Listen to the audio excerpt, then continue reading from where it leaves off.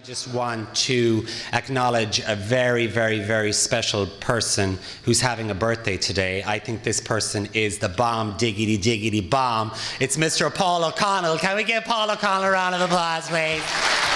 Paul O'Connell, you're amazing.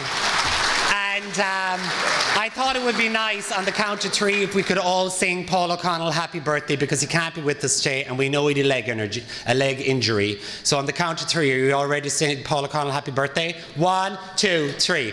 Happy birthday to you.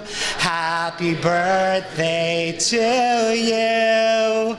Happy birthday, dear Paul. Happy birthday to you. Paul O'Connell, we love you. You're the bomb.